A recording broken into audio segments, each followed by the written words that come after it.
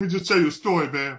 I had to check when I looked down there because people always make fun of me. I did the uh, Don Lemon show way sure. back uh, when I first got out. You know, got out of my uh, my state for 27 months, and uh, Don Lemon, right? And, and this is my first interview in a long time, right? As soon as the lights hit, boom, came on. I looked down.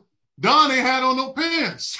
I was like, I just started sweating. I was like, what the hell? What am I on right now? Is this really CNN? Like, because I had an uncle, he was cross-eyed. And when we used to play poker with my dad, he used to play, he came out the bathroom one time, right? And he just zip up his stuff.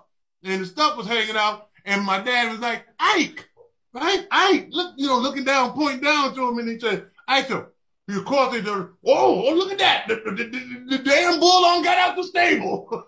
so, so I thought, you know, looking at Don Lemon with no pants on, and this was makes him relax when he's doing the show. I hope I don't get in no trouble with Don Lemon because I love him. And uh, but it was sure I was sitting there sweating, and he kept going during the commercial break. Man, I got you sweating like a you know what in church, and, and I'm like, yeah, because you're naked.